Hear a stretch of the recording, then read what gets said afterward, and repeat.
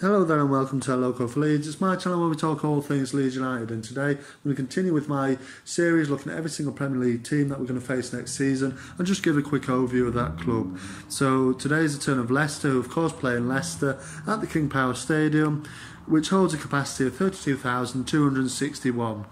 The club manager there is Brendan Rodgers. The captain is Wes Morgan. Top goal scorer for last season was Jamie Vardy with 23 goals, and the top assist maker was Harvey, Harvey Barnes with 8.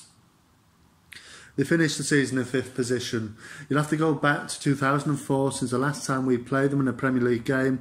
It was at Elland Road, we beat them 3 2. In the reverse fixture, they beat us 4 0.